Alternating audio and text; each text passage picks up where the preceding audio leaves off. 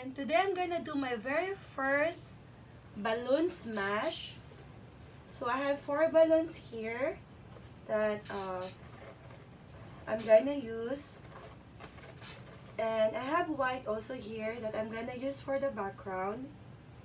And I have different colors here like turquoise. I have gold.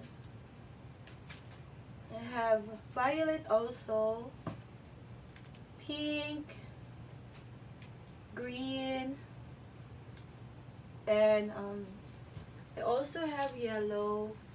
So I'm gonna use all the leftover paints that I have because I need to clean up the, the bottles. So since there's still leftovers, so I'm thinking to do some experiments since I have not tried uh, balloon smash.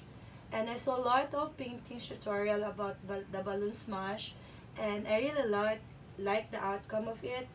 I also have a plate here that I'm gonna use. So I have not decided yet if I'm gonna pour the paint in the canvas or I'm just gonna pour the paints in the plate and dip the balloon. So I saw a lot that they're doing like dipping.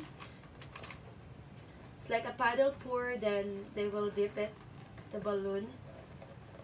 So I hope I can get a nice result since it's the very first time that I'm gonna do this and I hope you enjoy it guys.